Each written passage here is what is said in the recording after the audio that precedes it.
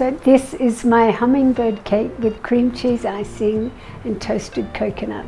It's actually the first cake I baked when I started my business and that was the beginning of the Simmone Logue story. So we're going to start with turning our oven on to 180 degrees and greasing a 10 inch cake tin. Now it's just veggie oil. We don't like to use olive oil when we're doing sweeties because it's a little bit strong in flavour. Line the tin with greaseproof paper. One on the bottom and a piece around the outside. And then another brush of the oil. And this just stops the cake from sticking. And then we're going to take three Essington Park eggs. They're about 60 grams and 300 mils of vegetable oil and two teaspoons of really great quality vanilla. And I'm just going to put my mixer down and just put it on in the um, bottom speed. And then we can speed it up a little. Then in a separate bowl, 300 mils of plain flour. Some people skip this bit, but I never do because I think you get a better, lighter result. And then to help the cake rise, one teaspoon of baking powder and one teaspoon of bicarb.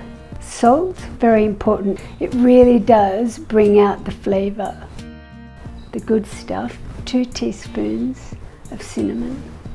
Then I've got 200 grams of sugar and I'm going to mix that in with the wet ingredients. I'm going to do that in two stages so that I make sure that it's combined really well. Just on low speed to start. We don't want the flour going everywhere.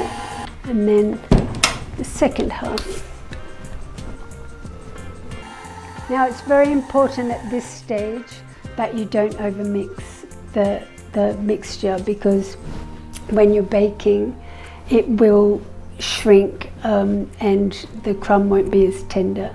Okay, so now we add 300 grams of grated carrot, 280 grams, which is a, a, tin that you can buy in the grocery store, of pineapple, and this one's crushed. Then, last but not least, a cup of walnuts, and I always, as I always do, roast and chop before I cook with them because the flavour and the crunch comes out. And then give it all a good mix. This part it's important to sort of fold so you're not overworking and into our tin. Smooth it out a little, a little tap and into the oven.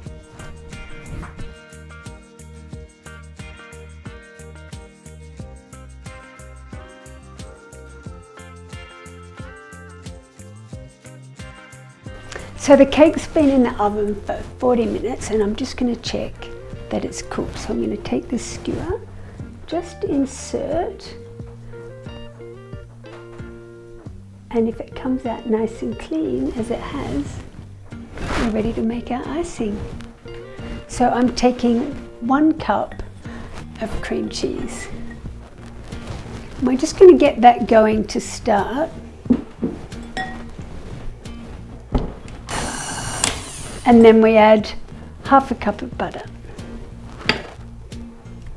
two teaspoons of vanilla,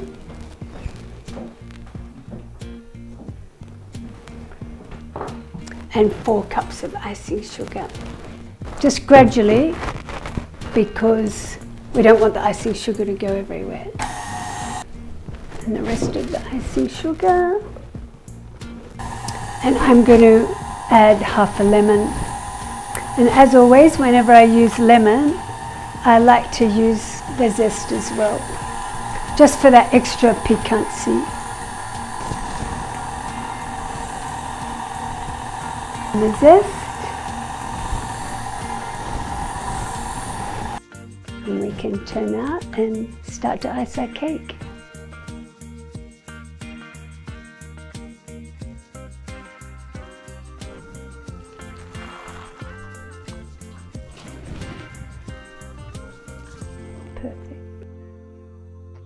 Just nice chunks.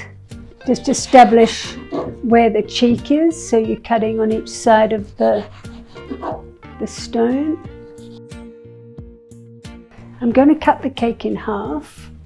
So I just slide my serrated knife into the cake and turn the cake stand around as I go.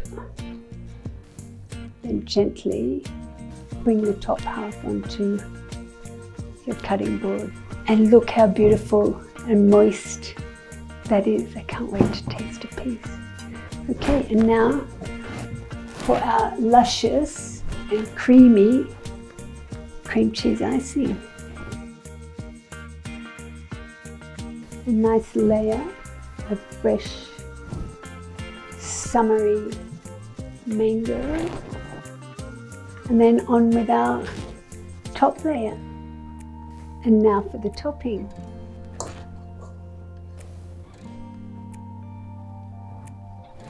I find it's best to use a spatula like this rather than a knife or any other implement because it's like concreting. Just make sure that you can't see any of the cake on the top.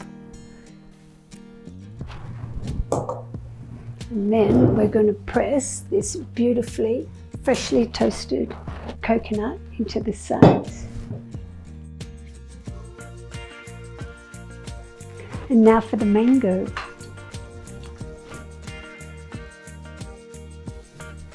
And a little adornment. My hummingbird cake with fresh mango and toasted coconut.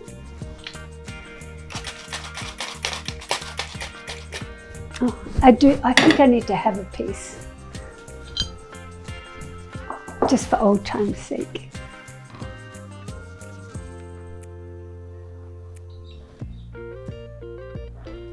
Mm, just how I remember it. Food from the heart.